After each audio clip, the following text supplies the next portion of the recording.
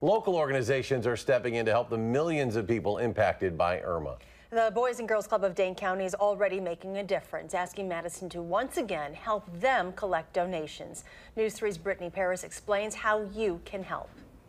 When Hurricane Harvey hit Texas, the Boys and Girls Club rushed to collect supplies and brought down hundreds of thousands of dollars worth of donations. Now they're asking Madison to step up again as Hurricane Irma devastates Florida.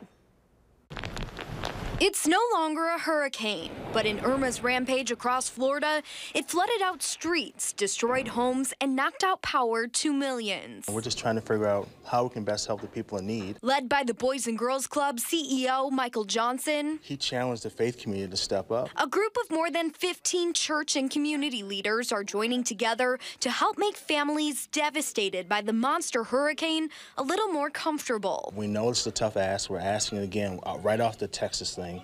But there's again, there's people in need, and that's the Madison way to helping people when they need help. Right now, they're collecting basic essentials, things like diapers, water, tampons, garbage bags, and granola bars. Anything um, that we can pretty much bring of those items to bring instant relief to people who may be living in shelters. You can drop donations off here at Lighthouse Christian School. They have plenty of room to store things in their warehouse, plus a loading dock for the semi to pick everything up. And we're just happy that we can be a blessing uh, to the community and to the community in Florida. The faith community says while they're offering their prayers to Irma victims, they're also rolling up their sleeves and putting into action what they preach every Sunday. We can say we're praying for you, Florida. We're praying for you, uh, uh, Texas, but what are we doing besides praying? You know, uh, praying can go so far.